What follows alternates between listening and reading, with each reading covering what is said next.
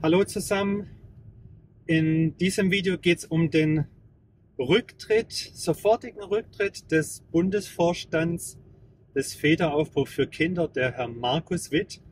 Ich habe gerade den Artikel fertig gemacht, in dem ich es veröffentlicht habe. Wir haben von unseren Quellen beim Federaufbruch für Kinder von dieser Stelle vielen Dank an die Quellen.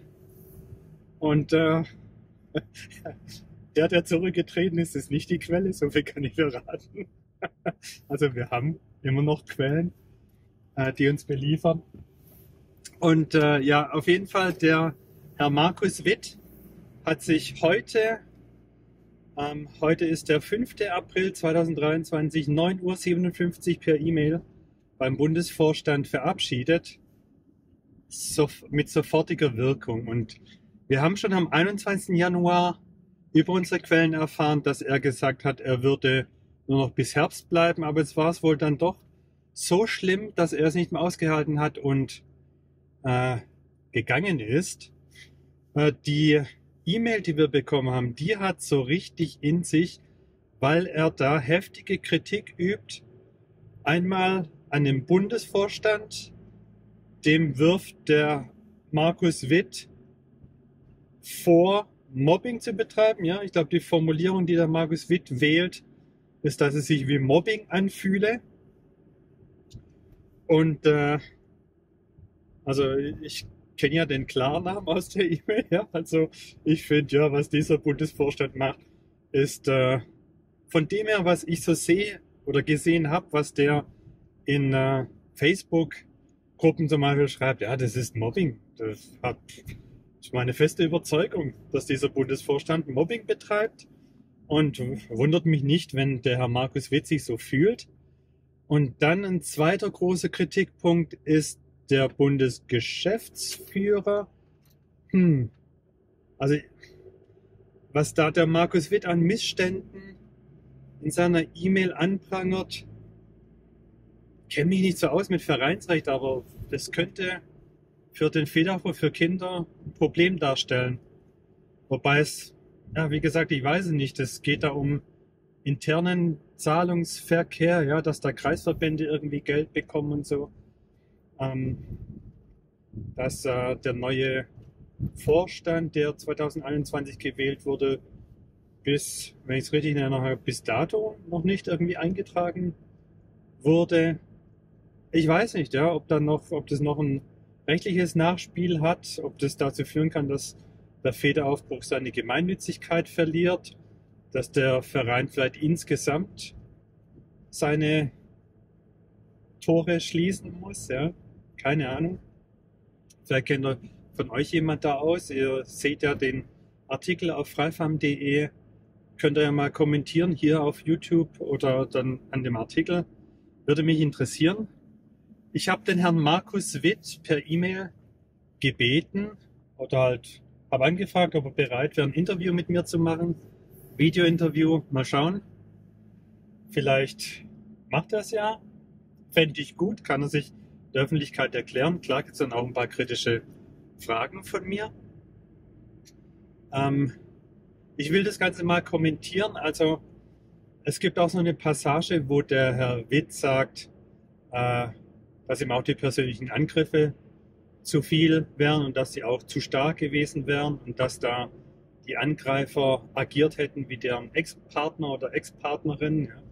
Das ist ja was, was ich vor allem auf Twitter immer wieder geschrieben habe, dass Leute im Federaufbruch für Kinder oder Leute, die da nicht drin sind, aber den Federaufbruch für Kinder verteidigen, genau die gleichen Methoden gegen die Kritiker anwenden, wie es Entfremder machen. Ja? Entfremder sind Eltern, die haltlose Vorwürfe äh, in den Raum stellen, die persönliche Angriffe starten, Unterstellungen, die nicht sachlich argumentieren, sondern nur über persönliche Angriffe. Ähm, und der Fighter Aufbruch für Kinder setzt sich ja dafür ein, dass sowas eben nicht passiert in Familien oder wirkungslos ist, ja, indem man sich fürs Wechselmodell einsetzt. Aber der VfK selber, ja, jetzt wissen wir es ja über die E-Mail vom Herrn Witt an den Bundesvorstand, macht es intern selber und wie ich erlebt hat, auch extern. Ja, und das habe nicht nur ich erlebt, sondern auch andere Leute. Und äh, für mich ist der Rücktritt vom Herrn Witt einfach nur ein weiterer ähm, Mosaikstein ist es ja nicht, ähm, sondern ein weiterer Schritt im Niedergang des Federaufbruchs für Kinder. Ähm, ja, Mosaikstein ist es deshalb nicht, weil man fügt ja Mosaiksteine hinzu, um etwas aufzubauen, aber da ist es eher so wie eine Abbrucharbeit, ja. Der Federaufbruch wird abgebrochen, ja, genau. Also, ich sag mal, mit seiner E-Mail hat der Markus Witt im Grunde ein Abbruchbagger mehr an die Baustelle gefahren. Äh, Frage ist, ob er den selber betätigt hat oder nicht, oder andere den Schlüssel stecken lässt, damit andere den Abbruch des Federaufbruchs machen. Ähm, das ist mal bildlich gesprochen. Also der Federaufbruch hat sowieso nie in seiner über, glaube 30-jährigen Geschichte nie irgendwas für Kinderrechte oder Elternrechte erreicht in Deutschland. Also ich habe da auch mal einen Artikel geschrieben, könnt ihr auf freifam.de suchen. Alles, was er so sich selbst zugeschrieben hat, da war er nicht aktiv dabei. Äh, zum Beispiel auch dieser Wechselmodellbeschluss von 2017 vom Klaus Fiegel, der ja ähm, quasi mit mir zusammen Freifam aufgezogen hat. Ähm, da hat der Feder aber für Kinder noch nicht mal gewusst, dass es da was am BGH gibt. Noch nichts vom Beschluss gewusst, bis der dann veröffentlicht wurde. Also das zeigt, dass der Feder auch für Kinder für die Leute, die wirklich was bewegen wollen, keine Relevanz hat. Ja, für die Leute, die smart sind, neuen Weg suchen, gegen dieses Unrechtssystem vorzugehen, für diese Feder aber für Kinder völlig uninteressant. Und ähm, das ist,